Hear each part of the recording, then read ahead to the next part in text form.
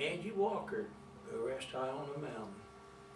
I know you're alive.